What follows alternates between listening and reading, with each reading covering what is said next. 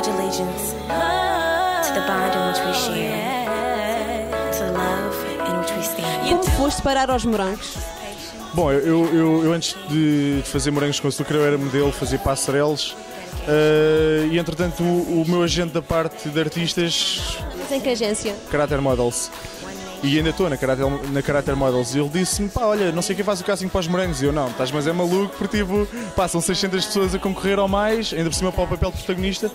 Entretanto, ok, fui mesmo naquela vá, aventura, fui fazer o casting para os morangos, passei, a partir daí, pr- protagonista, comecei a gravar, a gravar, a ganhar experiência, a trabalhar com atores mais velhos, comecei a gostar realmente da profissão, agora pronto, é, é um ciclo.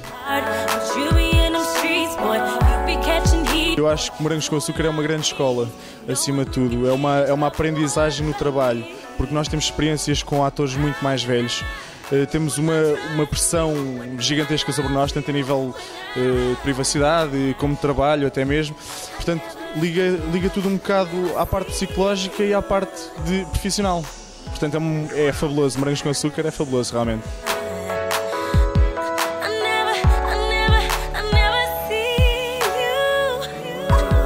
Já conhecias os Açores, mais propriamente a ilha- de São Miguel?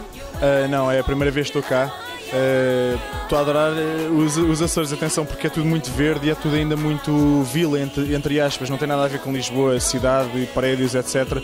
E é a primeira vez e, e é o primeiro dia que estou cá, ou seja, ainda quero desfrutar mais um bocadinho dos Açores e conhecer um bocadinho melhor as pessoas, a paisagem, o mar. It don't get no better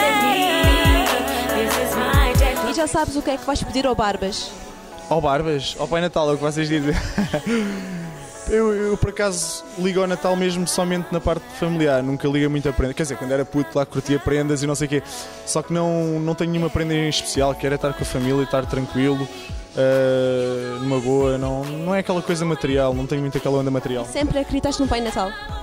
Ah, acreditei pai até aos 4 anos, ainda fui, ainda fui um bocadinho burrinho até essa altura. Ah, acreditei no gajo, até que vi que era o meu pai, que o Pai Natal, pronto, esquece. Sabes dançar?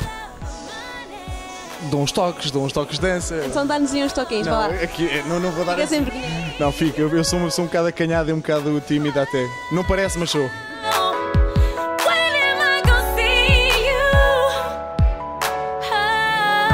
E o que andas a fazer atualmente? É assim, eu acabei agora uma novela nova, uma minissérie para a TV de vampiros, eh, O Destino Imortal. Eh, entretanto, agora tenho mais duas propostas televisivas.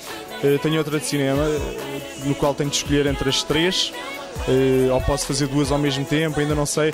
Isso é algo que ainda vou definir, mas sobre isso não quero falar já, porque tudo o que é futuro eu não gosto de falar. Só quando tenho papel na mão assinado e bora lá trabalhar, bora lá arranjar aquela personagem, aí sim falo à vontade.